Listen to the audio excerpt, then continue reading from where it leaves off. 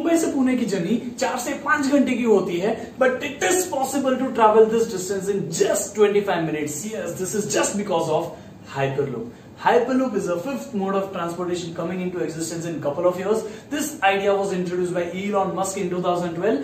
उसने इस आइडिया को ओपन सोर्स कर दिया। उसके बाद में काफ़ी सारे स्टार्टअप है जो इसके ऊपर अभी काम कर रहे हैं।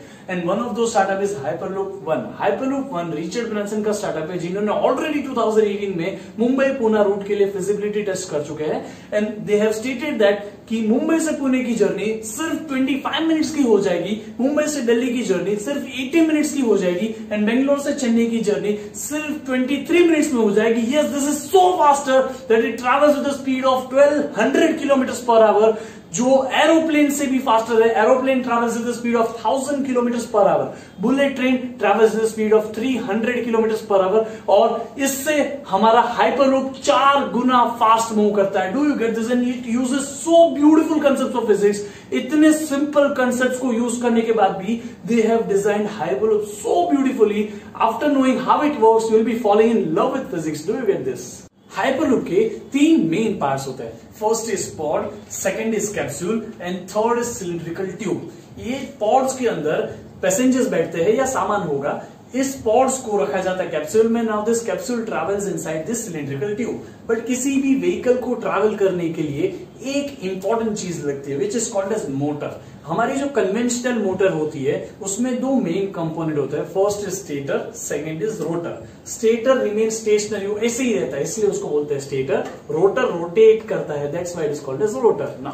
अब ये दोनों जो होते हैं ना, वो इलेक्ट्रोमैग्नेट्स होते हैं। व्हाट इज़ इलेक्ट्रोमैग्नेट इलेक्ट्रोमैग्नेट्स कुछ ऐसी चीज़ है, जिनको इलेक्ट्रिसिटी देने पे वो मैग्नेट्स बन जाते हैं। जिनसे इलेक्ट्रिसिटी लेने पे वो नॉर्मल मटेरियल की तरह बिहेव करते हैं. Do you get this this is so beautiful we study this in electromagnetism but anyways right now we have one stator जो सर्कुलर अरेंजमेंट में रखा गया उसके ऊपर रोटर है.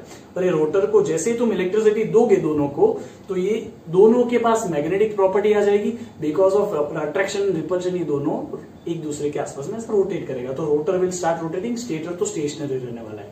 अभी ना, हमारे हाइपरलूप के केस में हमने इस स्टेटर का जो सर्कुलर अरेंजमेंट है, उसको लीनियर अरेंजमेंट में कन्वर्ट कर दिया। उसके ऊपर रोटर रहता है। When you give electricity it achieves magnetic property उसके बाद में इट स्टार्ट्स रोटेटिंग आगे आगे आगे जाएगा। This is how we gain speed लेकिन इसकी स्पीड को आगे लेने जाने के लिए कुछ अपोजिशन मिलते हैं। अब ये अपोजिशन क्या होते हैं? तो very first opposition is friction friction with the track friction with the floor लेकिन इसको कैसे हटाए? इसके लिए भी मैग्नेट्स यूज़ करते हैं। जो ट्रैक होता है, उस पर भी मैग्नेट रखो।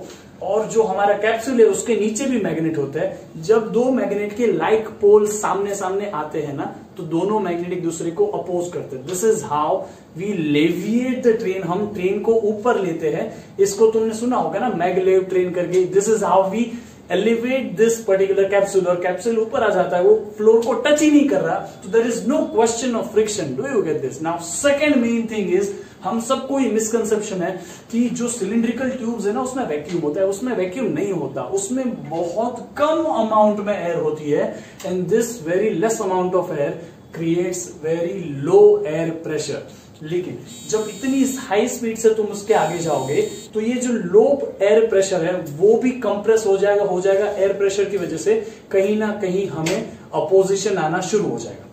Now how to avoid this इसको ब्यूटीफुली इस प्रॉब्लम को सॉल्व किया गया। सुनो ध्यान से। आगे कंप्रेसर फ़ैन लगा दिया। जो आगे का जो कंप्रेस्ड एयर ना, जो हमने आगे एयर को धक्का मार के रखा है, वो सारी कंप्रेस्ड एयर इस कंप्रेसर फ़ैन की वजह से अंदर आ जाएगी और ये कंप्रेसर फ़ैन इस एयर को लेके पीछे ड्रैग कर देगा।